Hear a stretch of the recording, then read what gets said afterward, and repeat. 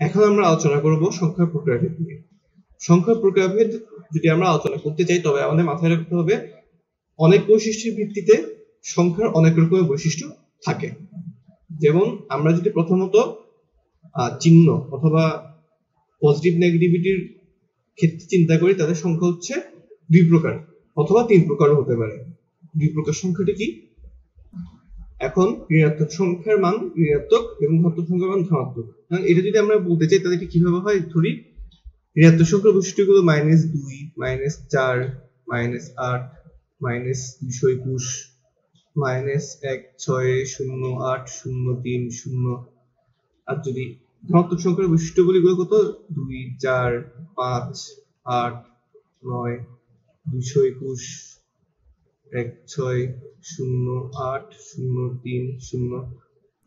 এখন আমরা যদি সংখ্যা রেখার মধ্যে দেখি, এদিকে আমরা যত সংখ্যা পাবো স্বভাবে ঋণাত্মক, আর এদিকে যত সংখ্যা পাবো স্বভাবে ধনাত্মক। মাঝখানে একটি শূন্য নামে একটি সংখ্যা আছে, যাকে ধনাত্মক সংখ্যার সাথে যোগ করে আমরা এক রকমের সংখ্যা বলি, সেটাকে বলে অঋণাত্মক। সংখ্যা শূন্য, শূন্যর সাথে যদি ধনাত্মকের সংখ্যা মিলাই, তাহলে আমরা একটি আরেক ধরনের সংখ্যা পাই, সেটাকে বলে অঋণাত্মক। অঋণাত্মক সংখ্যা হলো শূন্য সহ ধনাত্মক সংখ্যা হলো অঋণাত্মক সংখ্যা। শূন্য ধনাত্মকও না ঋণাত্মকও না, সেই হিসাবে শূন্যকে আমরা একটা মানে শূন্য শুদ্ধ বাকি সব ধনাত্মক সংখ্যাকে আমরা অঋণাত্মক সংখ্যা বলি। এরপর যদি আরও এক রকমের সংখ্যার সংজ্ঞা বলি, সেটি হলো পূর্ণ সংখ্যা ও অপূর্ণ সংখ্যা। পূর্ণ সংখ্যা কাকে বলে? যে সংখ্যা দশমিক এবং ভগ্নাংশ থাকে না সেগুলো পূর্ণ সংখ্যা যেমন এক, দুই, পাঁচ মাইনাস সাত মাইনাস নয়, পনেরো, মাইনাস তেরো ধনাত্মক ঋণাত্মক মিলে যে কোনো দশমিক বিহীন সংখ্যাকে আমরা পূর্ণ সংখ্যাকে বলতে পারি এখন অপূর্ণ সংখ্যা কি? মাইনাস এক দশমিক দুই অথবা প্লাস এক দশমিক দুই, পাঁচ দশমিক চার অথবা মাইনাস পাঁচ দশমিক চার অথবা মাইনাস চারশো একুশ দশমিক তিন অথবা প্লাস দুইশো একুশ দশমিক চার। এসব সংখ্যাই হলো তাহলে অপূর্ণ সংখ্যা। এখন পূর্ণ সংখ্যাকে প্রকাশ করার জন্য খুব সুন্দর একটা সিম্বল আছে। এই সিম্বলটাকে আমরা বলি জেড জেড দ্বারা আমরা কিসেকে প্রকাশ করি? পূর্ণ সংখ্যাকে প্রকাশ করি। ঠিক আছে? এখন আচ্ছা পূর্ণ সংখ্যা। এখন ধরে নিচ্ছি কোন একটি সংখ্যা এন বিলংস টু জেড বললাম। এটার মানে হলো এন একটি পূর্ণ সংখ্যা নির্দেশ করছে। আরও যদি স্পেসিফিক্যালি বলি, ধরি x equal to three N পাশে বলে দিলাম n বিলংস টু জেড এটাকে বলে বিলংস টু চিহ্ন। তোমরা যারা ক্লাস নাইনে সেট থিওরি করেছ, তারা জানো এটা কি?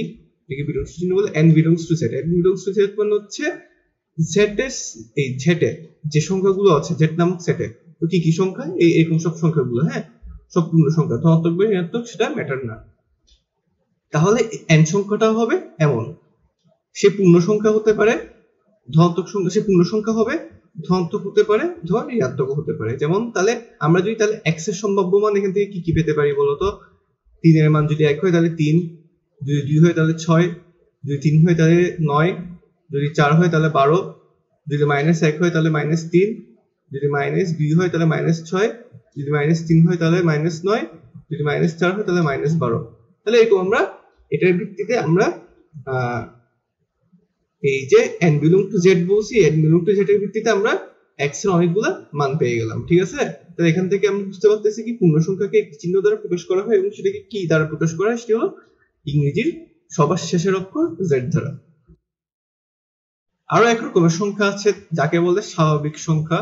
স্বাভাবিক সংখ্যাকে আমরা প্রকাশ করি এন দ্বারা এবং স্বাভাবিক সংখ্যার মধ্যে কি কি আছে? Zero one two three four five six মানে ওই যে অঋণাত্মক সংখ্যা যে কথাটি বলেছিলাম না অঋণাত্মক সংখ্যার সেটটা হলো স্বাভাবিক সংখ্যার সেট যেখানে শূন্য থেকে এক পর্যন্ত মানে শূন্য এক থেকে শুরু করে সব ধনাত্মক পূর্ণ সংখ্যা থাকবে। একে বলে জেড এটাই নাম্বার থ্রি খুব ইম্পর্টেন্ট একটা সংখ্যার সেট স্বাভাবিক সংখ্যার বৈশিষ্ট্য ইউজ করে আমরা সামনে অনেক ম্যাথ করব এবং এটিকে আমরা এন দ্বারা প্রকাশ করব। এরপর আরও এক রকমের সংখ্যা আমরা পাবো, সেটি হলো বাস্তব সংখ্যা।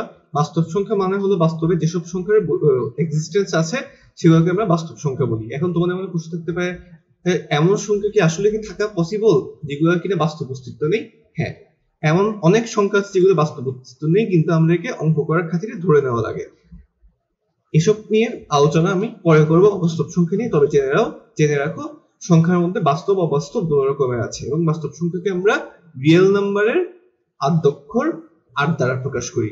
ঠিক আছে? বাস্তব সংখ্যার সেট হলো আর একে আমরা আর দ্বারা প্রকাশ করি। আরও এক রকমের সংখ্যার বৈশিষ্ট্যের মধ্যে যদি আসি, সেটি হলো মূলত সংখ্যা এবং অমূলত সংখ্যা। মূলত সংখ্যা এবং অমূলত সংখ্যার বৈশিষ্ট্য আর সংজ্ঞা আমি পরে মূলত সংখ্যা এবং অমূলত সংখ্যার লেকচার সিরিজে বলব। তবে এখন জেনে রাখো, মূলত সংখ্যা এবং অমূলত সংখ্যা সংখ্যা একটি প্রকারভেদের মধ্যে পড়ে। এখন আমি বলছি সংখ্যা তত্ত্বের সবচেয়ে ইম্পর্টেন্ট সংখ্যাটার বৈশিষ্ট্য নিয়ে, সেটি হলো মৌলিক সংখ্যা। এই যে সংখ্যা তত্ত্ব এত সুন্দর, সেটা এই ধরনের সংখ্যার বৈশিষ্ট্যের কারণে মূলত। অন্য সংখ্যার অন্য ধরনের সংখ্যার বৈশিষ্ট্য নিয়ে আলোচনা যে করা হয় না, তা না। তবে মৌলিক সংখ্যার বৈশিষ্ট্য নিয়ে সংখ্যা তত্ত্ব সবচেয়ে বেশি আলোচনা করা হয়। এবং মৌলিক সংখ্যা এতটাই বৈচিত্র্যময় যে, এই মৌলিক সংখ্যাই সংখ্যা তত্ত্বকে একটি বিশেষ সজীব রূপ দাহন দেয়। তাই হয়তো এটা আমি সবুজ রঙে দিয়েছি। এক অনন্য সজীবতায় সংখ্যা তত্ত্বকে ভরে দিয়েছে মৌলিক সংখ্যা জিনিসটি। মৌলিক সংখ্যা কাকে বলে? আশা করি তোমরা সবাই জানো। তাও যদি না জেনে থাকো আশা করি পরের ভিডিওতে মৌলিক সংখ্যা কি সেটি জেনে নিব।